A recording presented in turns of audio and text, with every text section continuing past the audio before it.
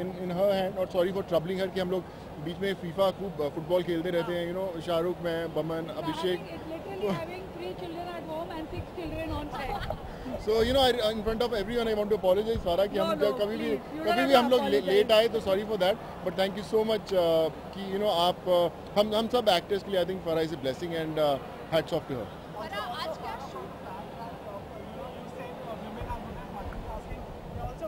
box of ruling the box office. They have the ability to, uh, you know. I think देखिए मैं एक बात बोलूँ जहाँ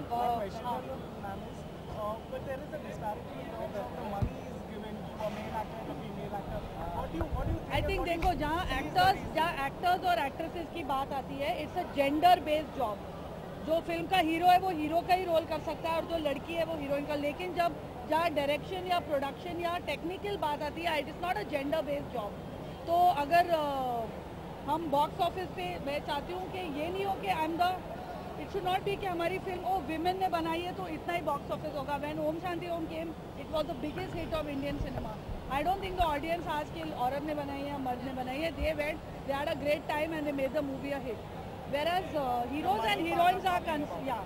Whereas hero and heroine is concerned it box office is purely business. कौन सा actor कितने पैसे लाता है उसको उसी हिसाब से पैसे मिलेंगे।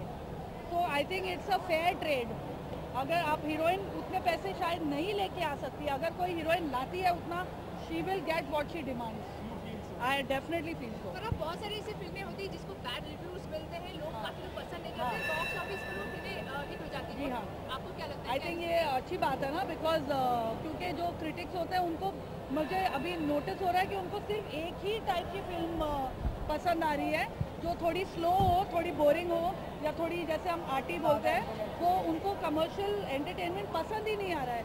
तो अगर वो हम उनके चार लोगों की बात पर चलें तो फ़िल्म इंडस्ट्री तो बंद हो जाएगी। तो ऑडियंसेस अच्छे अपना खुद का दिमाग लगाते हैं और फ़िल्म देखने जाते हैं और उनको मज़ा आता है तो वो वापस देखने जाते हैं।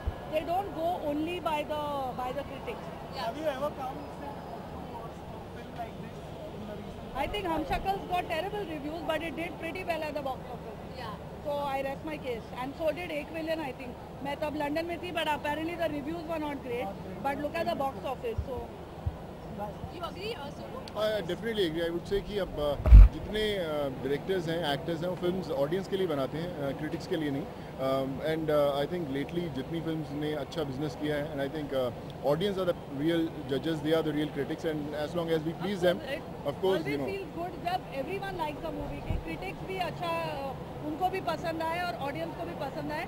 But I think there's a bias against commercial cinema, which should not be there. I know the critics are honestly doing the job, but there is a breed of critics that only like slow movies which uh, जितनी boring हो उतने ज़्यादा stars तो उनको commercial cinema के नज़रिया से या तो वो फ़िल्में ना रिव्यू करे उसके लिए कोई और जो who enjoys who understands what commercial entertainment is और You managed to uh, please critics and audience with your film.